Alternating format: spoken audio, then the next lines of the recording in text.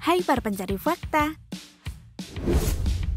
World Health Organization atau WHO menganjurkan kita untuk mengonsumsi 400 gram buah dan sayur setiap hari karena merupakan bagian penting dalam mewujudkan gizi seimbang. Sayangnya berdasarkan data dan riset kesehatan dasar, 93,5% penduduk usia di atas 10 tahun mengonsumsinya di bawah anjuran. Masyarakat Indonesia lebih tertarik dengan jus buah bergula yang mengandung 150 hingga 300 kalori. Nah ngomongin tentang buah dan sayur, kalian tahu gak sih kalau ada beberapa yang berukuran raksasa seperti ini? Buat kalian yang penasaran, yuk langsung saja kita simak ulasannya. Dalam 7 sayuran dan buah-buahan terbesar di dunia berikut ini.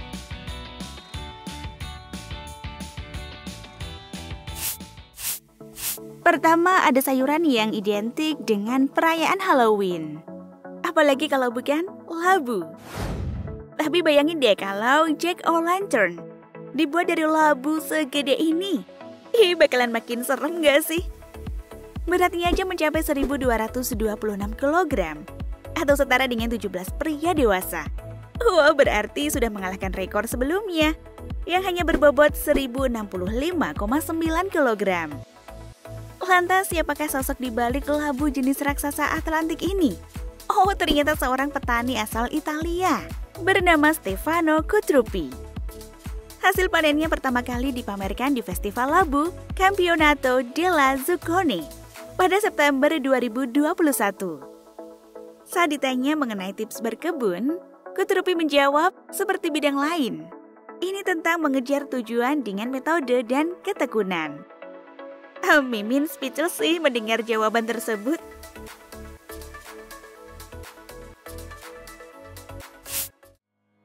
Buah mungil asam manis ini rasanya seger banget.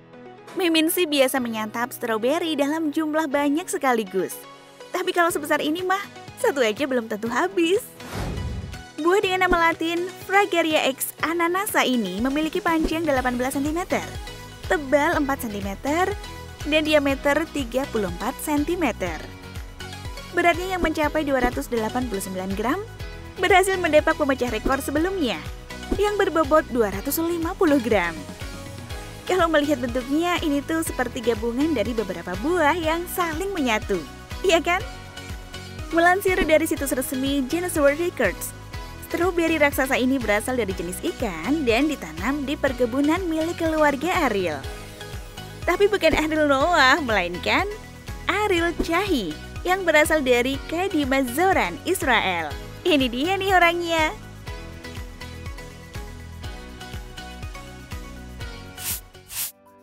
Beberapa dari kalian mungkin mengenal sosok Peter Glassbrook. Nah bener banget, dia adalah pria parubaya yang menjadi langganan Guinness World Records. Bagaimana tidak, setelah tercatat sebagai pemilik bawang bombay, lobak, dan tomat terbesar di dunia. Peter kembali mencetak rekor terbarunya pada tahun 2014. Kala itu ia dinobatkan sebagai pemilik kembang kol terbesar di dunia. Sayuran berukuran fantastis ini ditanam di rumah kaca miliknya di Newark, East Midlands, Inggris. Setelah ditimbang beratnya mencapai 27,5 kg. Padahal, rekor yang dipecahkan pada tahun 1999 hanya berada di angka 27,2 kg. Jadi gimana? Ada yang mau belajar budidaya tanaman raksasa dari Pak Ade Peter? Mimin ikut dong.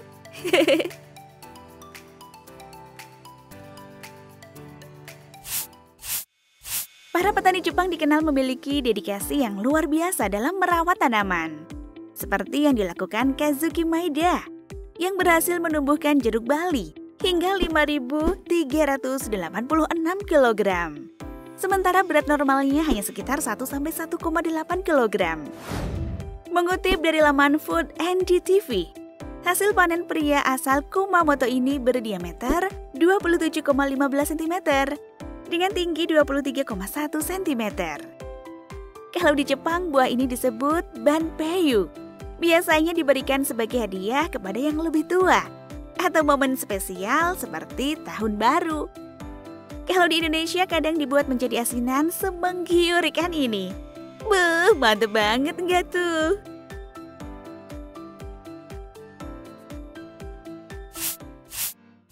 Masih ngomongin Peter Glassbrook. Ternyata masih ada satu rekor yang belum Mimin sebutin.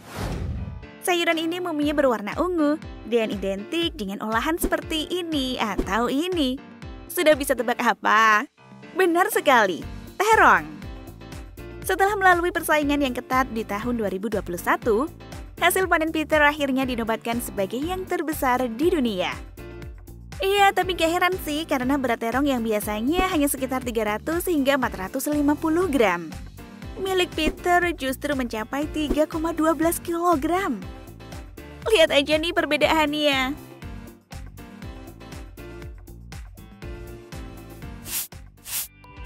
Jika umumnya kita melihat wortel dengan ukuran segini, Christopher Qualley ternyata bisa menumbuhkan wortel sampai segede ini. Setelah ditimbang, beratnya mencapai 10,18 kg. Wow, pemegang rekor sebelumnya saja hanya 9,12 kg. Pria asal Minnesota, Amerika Serikat ini akhirnya dinobatkan sebagai pemilik wortel terbesar di dunia. Sebagaimana yang dikutip dari akun Twitter Guinness World Records pada tahun 2017. Menurut Christopher, kunci dari pencapaian tersebut adalah tanah, benih, cuaca, dan keberuntungan. Tapi mengolah tanah dengan baik disenyalir sebagai fokus utamanya, seperti dilakukan para penanam berpengalaman di seluruh dunia.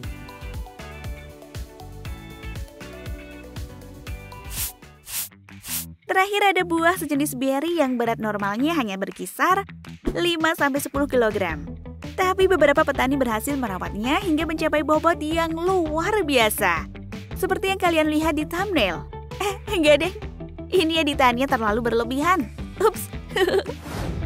Karena pemilik semangka terberat di dunia adalah pria asal Tennessee, Amerika Serikat, Chris Kern. Tak tanggung-tanggung, beratnya mencapai 159 kg. Seperti yang diverifikasi oleh Persemakmuran Labu Besar pada 4 Oktober 2013 lalu. Chris meraih hadiahnya di Operation Pumpkin Festival yang diadakan di Hamilton, Ohio tahun 2013. Sini deh, Mimin bisikin tips berkebun rahasia ala Chris. Ternyata semua bermula dari kecintaannya terhadap tanaman sejak masih kecil. Kala itu dia tertarik dengan buah semangka yang tumbuh dengan sangat baik di halamannya. Seiring berjalannya waktu, Chris akhirnya tahu kalau buah ini membutuhkan minimal 6 jam sinar matahari dan lahan yang terbuka Katanya sih karena bisa menyebar dengan sangat cepat. Selain itu, semangka tidak butuh air yang terlalu banyak. Disiram sekali dalam tiga hari aja udah cukup kok.